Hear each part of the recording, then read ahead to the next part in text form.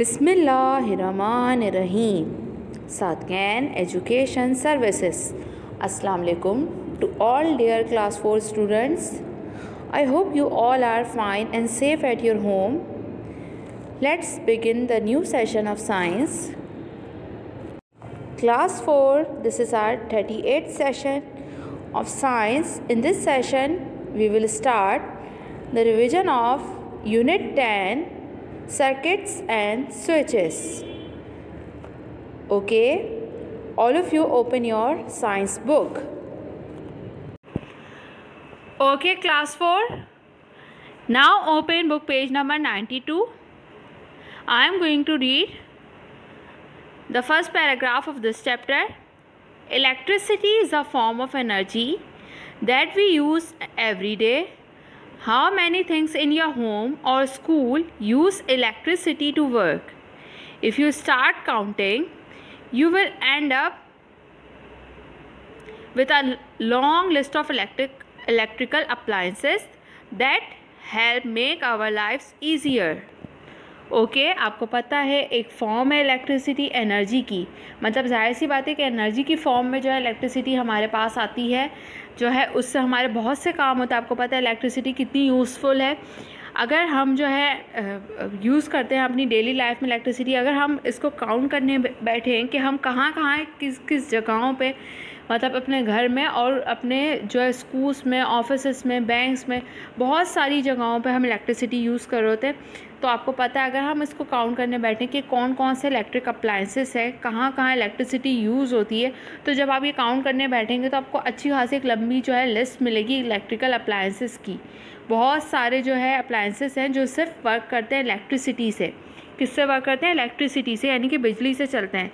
और बिजली हमारे का मतलब हमारी लाइफ्स को इजी बना देती है। इसने हमारी ज़िंदगी को आसान बनाया हुआ है।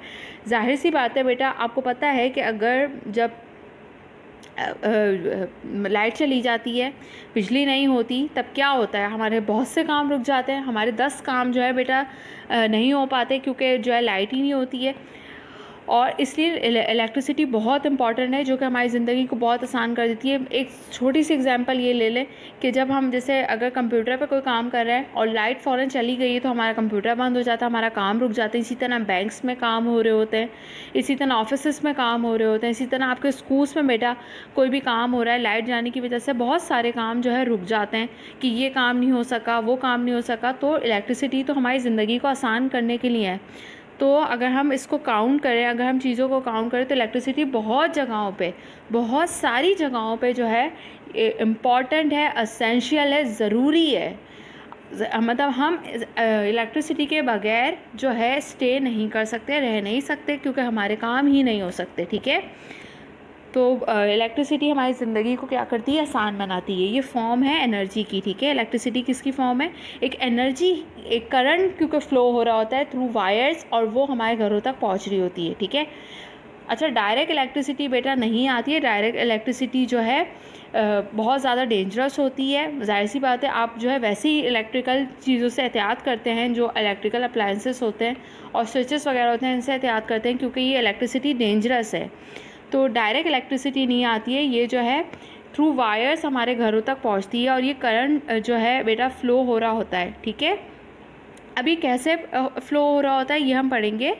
Let's learn more complete and incomplete circuit first of all the path along which electricity flows is called a circuit वो रास्ता जिसके थ्रू इलेक्ट्रिसिटी फ़्लो करती है। मतलब जिसके थ्रू जो है इलेक्ट्रिसिटी जा रही है, उसको हम कहते हैं सर्किट क्या कहते हैं? Circuit electricity needs a complete circuit to flow this is called a complete और close circuit if there is a gap और break in the circuit the electricity will not flow through it this is called an incomplete और open open circuit अच्छा बेटा, अब आपको मैंने बताया कि वो रास्ता जिसके थ्रू जो है इलेक्ट्रिसिटी फ़्लो करती है, उसे हम क्या कहते हैं सर्किट कहते हैं।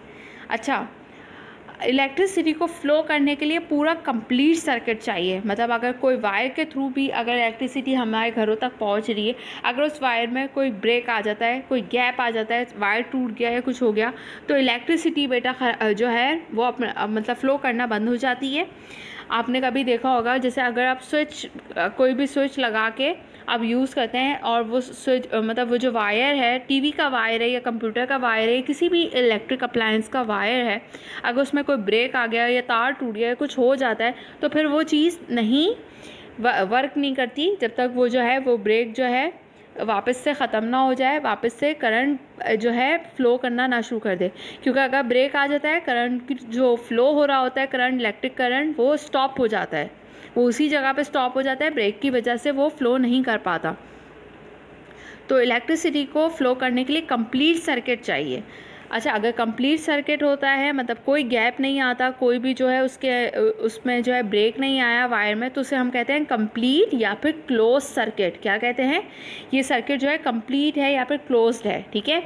और अगर गैप आ जाता है बेटा दो आ, मतलब आपके वायर में गैप आ गया आपका वायर टूट गया या किसी भी वजह से कोई भी जो है उसमें फॉल्ट आता है वायर में तो इलेक्ट्रिसिटी इलेक्ट्रिक करंट जो है वो स्टॉप हो जाता है करंट फ्लो करना स्टॉप हो जाता है तो इलेक्ट्रिसिटी अब जो है क्या नहीं करेगी फ़्लो नहीं करेगी तो वो कोई भी जो आप इलेक्ट्रिक अप्लायंस चलाने की कोशिश कर रहे हैं वो नहीं चलेगा क्योंकि अब जो है इलेक्ट्रिक करंट फ्लो होना बंद हो गया है। किसकी वजह से? ब्रेक की वजह से। जैसे आप पिक्चर में देख रहे हैं गैप आ चुका है वायर में, जहाँ पे गैप लिखा है, देखें। गैप आ चुका है, इसकी वजह से अब इलेक्ट्रिक करंट जो है, हमारा क्या हो चुका है? स्टॉप हो चुका है। मतलब जहाँ से आ रहा था बैटरी से आ रहा था, अब जो है वो नहीं आगे जा सकता। इसकी वजह से बल्ब जो है, अब वो जलेगा नहीं। बल्ब जो है बेटा, नहीं स्टार्ट होगा। बल्ब आपको रोशनी नहीं देगा क्योंकि वायर में ब्रेक है। और ऐसा जो सर्किट होता है, जिसमें ब्रेक होता है और मतलब यहाँ पर गैप आ जाता है उसे हम कहते हैं इनकम्प्लीट और ओपन सर्किट कि ये सर्किट जो है कंप्लीट नहीं है, ये क्लोज नहीं है, ठीक है? Okay do you remember all electric electrical appliances that we use in our daily lives are powered either by mains or by a battery? Mains powered objects are plugged in a socket in a wall. Mains electricity is, is powerful and can be very dangerous. The appliances which are powered by a battery are called battery powered appliances. A remote control, clock, torch, watch and other small appliances are powered by batteries. अच्छा बेटा, क्या आपको पता है जो हम appliances अपनी daily life में यूज़ करते हैं, वो अप्लाइंसेस या तो हम बैटरी से चला रहे होते हैं या फिर हम उनको जो है वो डायरेक्ट जो है सॉकेट पे लगाते हैं उसका वायर और फिर हम उनको यूज़ करते हैं। तो वो मेन्स इलेक्ट्रिसिटी जिसे कहते हैं मेन्स पावर ऑब्जेक्ट तो मेन्स पावर ऑब्जेक्ट वो ऑब्जेक्ट होते हैं जो डायरेक्ट जिनका हम जो है प्लग करते हैं प्लग जो है सॉकेट में लगाते हैं और डायरेक्ट वो जो है वर्क, वर्क मतलब रन करते हैं उसी इलेक्ट्रिसिटी पे। अच्छा मेन इलेक्ट्रिसिटी पावरफुल है ज़ाहिर सी बात है डायरेक्ट जो है इलेक्ट्रिसिटी मिल रही है तो वो पावरफुल होती है ज़्यादा और डेंजरस भी होती है। तो हमें एहतियात भी करनी चाहिए क्योंकि वो डेंजरस है। मतलब इलेक्ट्रिक मतलब आपने कोई भी इलेक्ट्रिक अप्लायंस आप यूज़ कर रहे हैं और आपने वायर लगाना है आपको जिससे फ़र्स्ट कर टीवी स्टार्ट करना है आपने सपोज़ तो आप जो है बेटा गीले हाथों से जो है वेट जो अगर आपके हाथ हो रहे हैं तो आप उसका वायर गीले हाथों से नहीं जो है लगाएँगे क्योंकि करंट लग सकता है।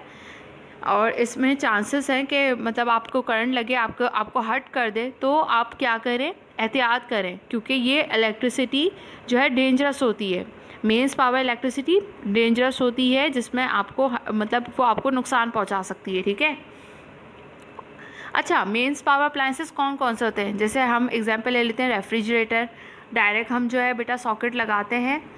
प्लग जो है सॉकेट में लगाते हैं और डायरेक्ट वो जो है रन करता है। इसी तरह आपका टेलीविज़न है कंप्यूटर है और इसके अलावा जो है अगर आप ब्लेंडर वगैरह यूज़ करते हैं वॉशिंग मशीन यूज़ करते हैं, इसके अलावा माइक्रोवेव यूज़ करते हैं, इस तरह की चीज़ें, बहुत सारी चीज़ें हैं जो डायरेक्ट ये हैं सारे मेंस पावर जो कि डायरेक्ट जो है बेटा इनके प्लग हम लगाते हैं सॉकेट पे और वो डायरेक्ट जो है जो है चलती हैं, ठीक है?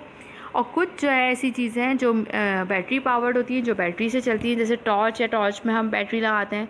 क्लॉक है, उसमें हम बैटरी लगा देते हैं, ठीक है? वो अप्लाइंसेस जो बैटरी से चलते हैं बेटा, हम उनको कहते हैं बैटरी पावर्ड अप्लाइंसेस क्या कहते हैं? बैटरी पावर अप्लाइंसेस जैसे रिमोट कंट्रोल कार है जैसे आप बच्चे खेलते हैं रिमोट कंट्रोल कार से। इसके अलावा बहुत से अप्लाइंसेस है जो बैटरी से चलते हैं। आपका मोबाइल फ़ोन है।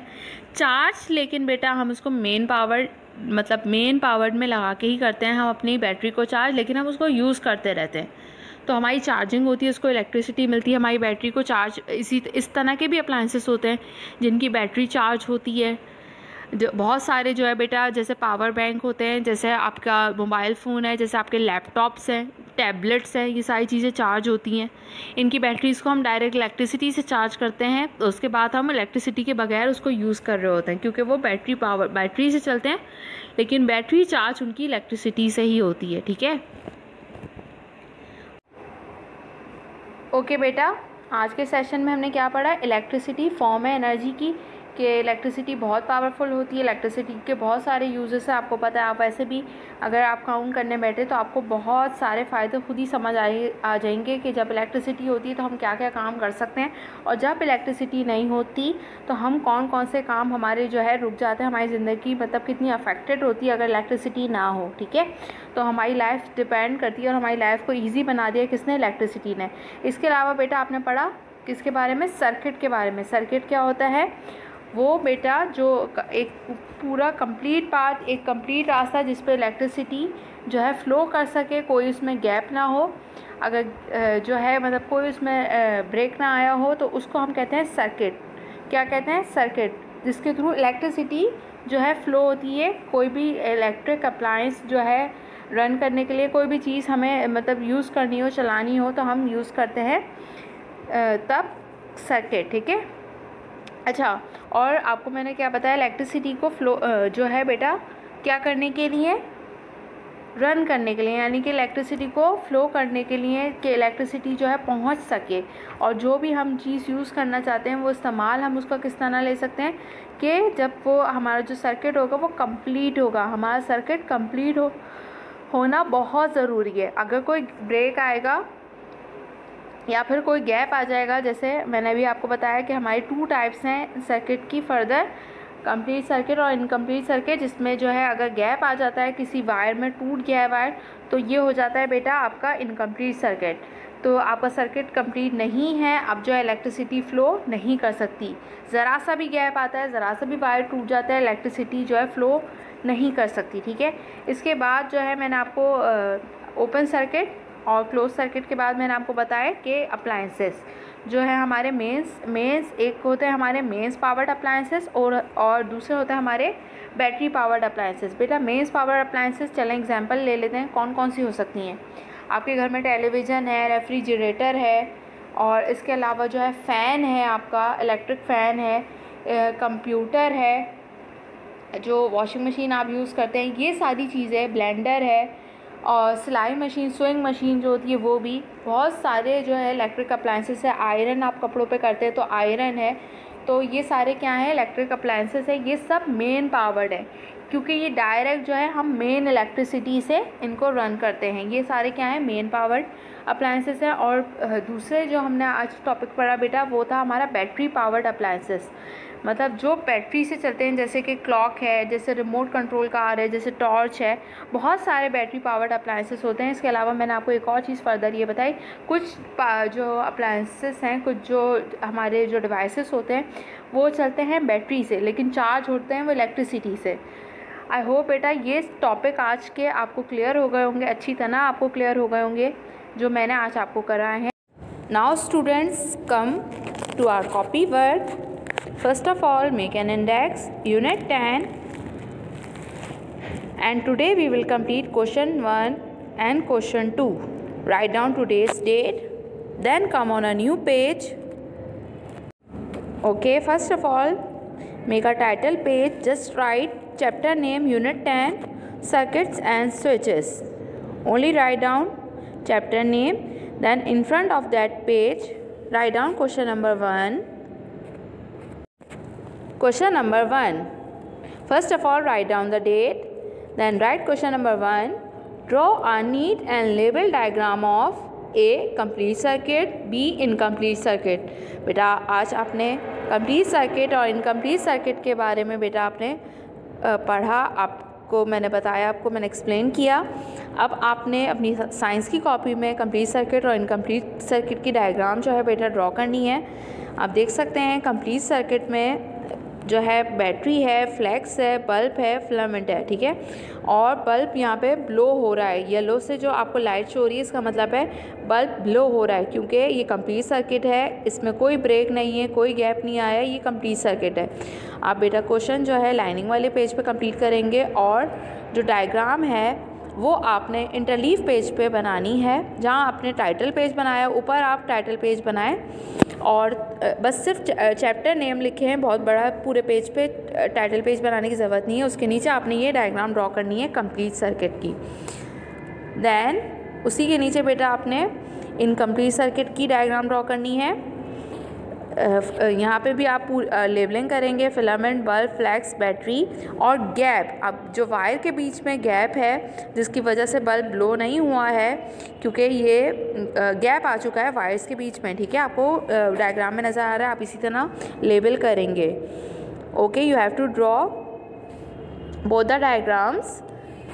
बेटा, आप क्वेश्चन जो है लाइनिंग पेज पे राइट करेंगे और उसका आंसर जो यानी कि जो डायग्राम्स है, वो आप इंटरलीफ पेज पे कंप्लीट करेंगे. Then come on a new page बेटा आप क्वेश्चन टू न्यू पेज से स्टार्ट करेंगे, उसी पेज से स्टार्ट नहीं करेंगे. Then question number two define mains powered and battery powered objects answer mains powered those objects which are plugged in a socket in a wall are called mains powered objects example TV, fan, refrigerator. Then number 2 battery powered. Those objects which are powered by a battery are called battery powered objects. Example remote control, clock, torch. Copy down this question in very good handwriting in your science copy. Beta आप, जब मैंने आपको पहले ये chapter करवाया था second and switches का, उस पर ये दोनों क्वेश्चन मैंने आपको नहीं करवाए थे। ये क्वेश्चन नए हैं, इसलिए आप लोगों ने स्किप नहीं करने कि आप रिविज़न है तो आप ये काम नहीं करेंगे। आपने ये काम ज़रूर अपनी कॉपी के अंदर कंप्लीट करना है। You have to complete this work in your science copy okay student this session of science has been completed now we will continue the same chapter in our next session till then take care of your self Allah हाफिज़